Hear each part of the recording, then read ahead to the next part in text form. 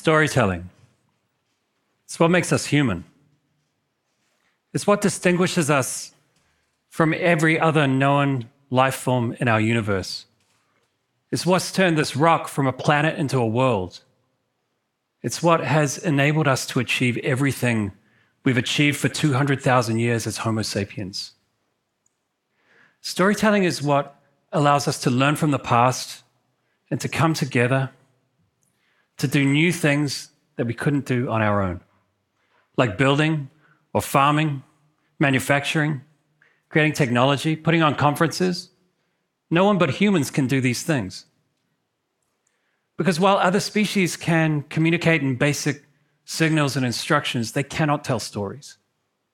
Storytelling is what allows us to say, Did you know? Storytelling is what allows us to say, I can imagine a future where. Storytelling is what allows us to say, if you look at it this way. Storytelling is what enables us to convince each other of the commonalities that allow us to come together to achieve great things. So, in this age of more and more people attempting to achieve great things as entrepreneurs, as startups, as businesses who want to think bigger than just their bottom line, it's no wonder that we look to storytelling to help. Because if storytelling has the power to bring people together with other people to achieve transformational things, then storytelling also has the power to bring people together with businesses and brands to achieve transformational things. And I want to tell you how. And I want to start by talking about the most popular story of all. Just about every fable or legend or movie or book that's ever captured the imaginations of millions of people is the same kind of story. I'm talking about the three act structure story. You probably already know what that is, and if you don't, it's going to sound pretty familiar. Three act structure stories are split into three parts. In the first part, someone's going about a normal day in an ordinary world when suddenly something happens and it shatters all of that normality and ordinariness. And it sets them off on a new journey, confronting that challenge, solving the mystery, defeating the bad guy, capturing the heart of the love interest. In Act Two, we follow the characters as they confront their challenge and they go through all kinds of adventures and plot twists on the way to Act Three, where everything comes to a climax. They emerge victorious, the world is put to rights, and everyone lives happily ever after. We love that story. Just about every single one of the world's most beloved books and movies and TV shows and plays and TED Talks are that same story. It engages our emotions and our brain chemistry in a perfect way that never gets old. And you know what? That same simple story structure can be used to capture the power of storytelling to achieve transformational things in business. Let me give you an example. In 2004, at a big ad agency in London, a strategic planner by the name of Olivia Johnson was working on the Dove brand. Dove had recently commissioned a study where they sought to better understand women's relationship with beauty. What that study told them was that women had an increasingly difficult relationship with the kind of beauty that had been normalized in decades of advertising and the media. The study showed that women felt beholden to an unrealistic standard of beauty that few could ever hope to achieve. And that study showed that just 9% of women considered themselves attractive. Now, Olivia was so affected by this research that she devised a strategy for the Dove brand that involved them rallying against this idea of beauty and instead championing a new, kinder, more real definition of beauty. Her strategy was brilliant, but Olivia had a problem. Most of the senior managers on the Dove business were men. They were men who had built a huge global beauty brand the way that everyone had, using airbrushed images of perfect looking, skinny women so, can you imagine rocking up and telling them to just abandon that tried and proven approach? And not only that, telling them to spend their budget crusading against the very thing that had made them successful in the first place? The reality was that her strategy, no matter how big hearted, no matter how well founded, would have a rake thin chance of being accepted by Dove. So Olivia did something extraordinary. She found that many of those Dove managers had daughters. She secretly contacted those daughters And she interviewed them on camera, talking to her about how imperfect and unbeautiful those images of beauty in the media made them feel. Then, in the presentation of the strategy, she played those tapes to their fathers.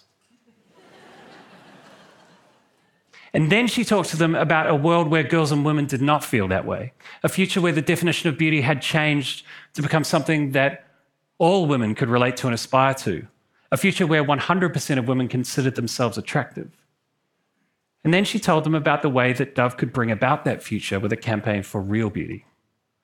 What Olivia did was she told those Dove managers a three act story. In the first act, she cast their daughters as characters in a world that was crushing their self esteem.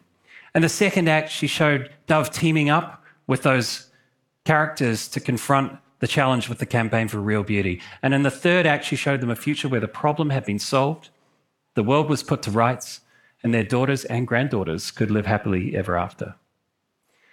By doing what she did, Olivia made her strategy impossible to say no to.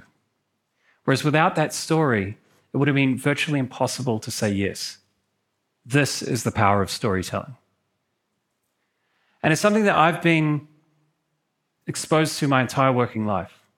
And so often I've seen big brands and big agencies harness the power of storytelling in electrifying ways.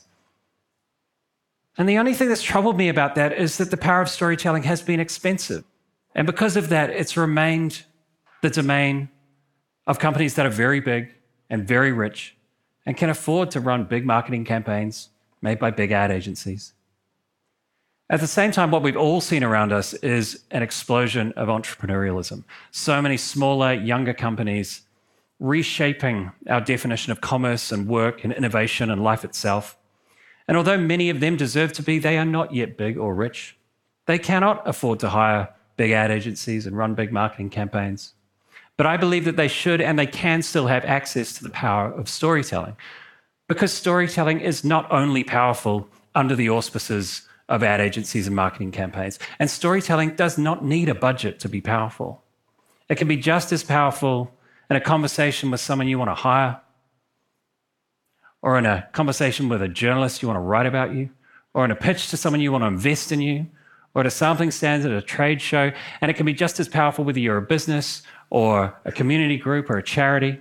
All you need to do is use that three act structure to tell your own story. Let me give you an example. I'm going to use a company that was founded in 2008 by two broke friends. Three years later, it was worth a billion dollars. That company's Airbnb. Not only did Airbnb have a great product, they also had a great story about how and why that product came into existence and the better future that they believed that that product could create. They had three acts. In Act One, roommates Brian and Joe couldn't make rent. So, out of desperation, they had this idea why don't we put an inflatable mattress on the floor of our living room, turn it into a bed and breakfast to make a few bucks? And when they did, they found that people who stayed at their bed and breakfast had a better, more meaningful time than they usually did when they stayed in a hotel. And they had a flash of insight. What if travel could be more human? In Act Two, they created their website, airbedandbreakfast.com. It connected guests and hosts in cities all over the world. It gave hosts a way to create an experience for their guests that was less like being a tourist and more like being a local. And in Act 3, they envisaged a future where people could easily find community even in the most foreign of places, where people around the world felt like they could belong anywhere. Just like in every three act story, Act 1 is where the founders, something happens to the founders, disrupts their lives and sets them off on a new journey. Act 2 is the creation of a product that's different or better. And in Act 3, the widespread adoption of that product has caused a change for the better. The world's been put to rights, and everyone lives happily ever after. And the great thing is that any business can have a story just like this one. Act one is your history, how and why you came to be. Act two is your product and how it's different or better. And Act three is the ambition that you have for the change you want to create in the world. You can apply this story to any company because any company, no matter how small or how young, still has those three things a history, a product, and ambition. In 2003, after General Motors recalled and destroyed all of their EV1 electric cars, two guys, Mark and Martin, they felt the world needed a car company that was 100% committed to electric cars. They founded Tesla, and Elon Musk joined the company creating desirable electric vehicles. and they're working toward a world that's transitioned out of fossil fuels and into electric vehicles. Three acts a product, a history, and an ambition. And I bet if you have a business, you're already thinking about what your three acts are. And that's the beauty of it. You don't need a marketing campaign or an ad agency to have a story. Your story's already there. But I bet right now you're only telling people Act Two. Act Two is your product and why it's better. We are great at Act Two. Everyone's doing Act Two, telling people about their product and why it's better. But imagine if you only showed people Act Two of a movie. Sure, they'd, they'd understand what was going on, but their empathy for the characters and where they came from, their emotional payoff at the outcome would be non existent. They'd comprehend, but they wouldn't care. And that's what great stories do they make people care.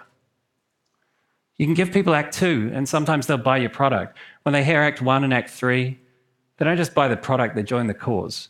And when people join a cause, that's when businesses start working in unison with their customers to achieve something great together. In 2017, I was struggling with my own problem. Three years earlier, I'd started a company called Previously Unavailable. We help other companies, mostly those big, rich ones, create exciting new products and brands. And over the years, we'd also had a stream of startups and smaller companies come to us and help us, uh, ask us for our help with their brand story and their brand strategy. And these were companies that we were inspired by and who we really wanted to help. The trouble is, for these smaller, younger companies, a consultancy or agency model is just much, much too expensive. Brand strategy has always been time intensive, and it ends up costing in the tens of thousands of dollars. And I just couldn't conscionably recommend to most smaller businesses that they spend that kind of money with us, but I hated turning them away. I was increasingly excited by how many amazing visionary companies were starting all around me and increasingly depressed at how few of them I could help. And then one Saturday morning, I had that moment when it hits you. And I spend the week at, weekend at work trying to answer a question. Could we take our process and put that on a platform that any business could use to develop their story and strategy on their own for a fraction of the cost? Turns out the answer is yes. And so I've spent the last two years creating the world's first brand story development platform. It's called Storytech. And with it, any company can use an, a video led online process to create a world class brand story and a strategy to tell it for an order of magnitude less than what it would traditionally cost. You know, most startups are way better at creating a world changing product than they are at convincing the world to let them change it. And your lives and mine remain unimproved by these people because they can never quite find the right words to pitch what they're doing in a way that makes other people care about it as much as they do. And I want to change that because I can see a world where every entrepreneur can afford a great story, and that in turn, every one of us benefits from the power of that storytelling. Thank you.